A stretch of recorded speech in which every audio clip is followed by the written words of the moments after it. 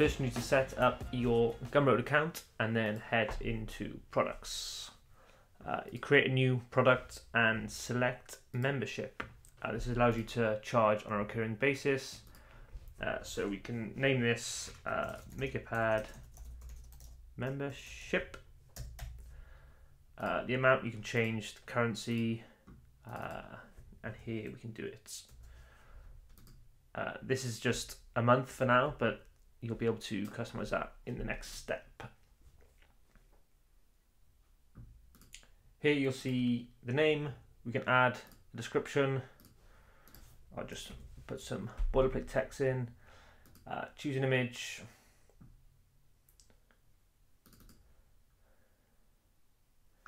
As your cover. This is the preview of what it will look like.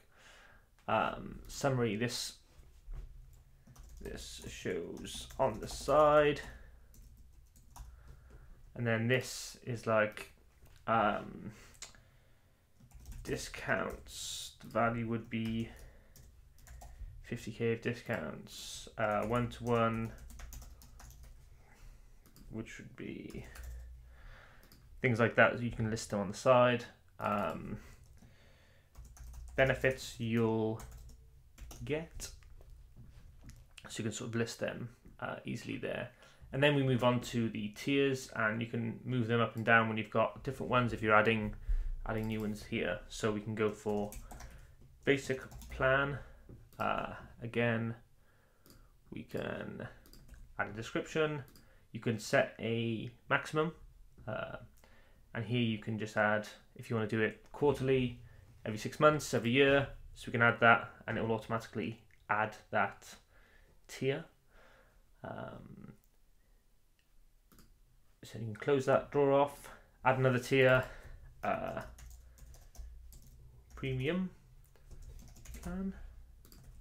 Again, and this one we can set as 200 month or per year. You have to have the same month, year, the same uh, pricing tiers each one. So if you have six months here, you must have six months available on the basic too. Uh, settings you can see here you can customize some of these quite easily. Uh, you can also change the default frequency. Um, you'll see it here says monthly. This will be the drop down where people can change it. So if you want it to be yearly you'll see yearly come up here.